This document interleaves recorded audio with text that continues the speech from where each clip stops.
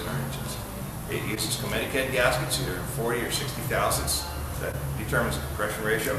The 203 camshaft that we use in the upgraded engine. We have the ARP hardened head bolts. Our proprietary valve train nuts that we use for the roller rocker arms. It fits all on the stock valve train. It makes it really easy to put roller rockers on this motor. You don't have to buy ARP stuff. You just use the stock stuff, use our nuts, use our rocker arms. Here are the heads used in our 203 kit. The same heads we use in our 202. They have nitrated stainless steel valves, double valve springs, very durable valve train, and it all works together with the 203 cam.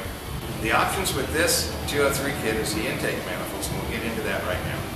This manifold here is a stock manifold. Comes on the 345, 375, and the 420 horse motors. The biggest problem with this manifold is it's basically equivalent to a two-barrel manifold because that's all the factory required. When we take this manifold, modify it for truck use, and we want to make more horsepower, we modify the inside of the intake manifold inside here, cut the bottom out, remove a couple of panels inside, weld it all back together, and then clean up the ports on the outside, and we get an airflow increase of about 80% of what this manifold here is capable of. This manifold here will make 650 horsepower on 496 with the 206 camshaft we have.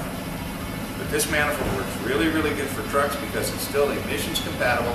It has all the hookups for the EGR valve, the charcoal canister, the MAP sensor, everything it takes to make your truck still be smog legal and be capable of moving enough air to be able to make some good horsepower.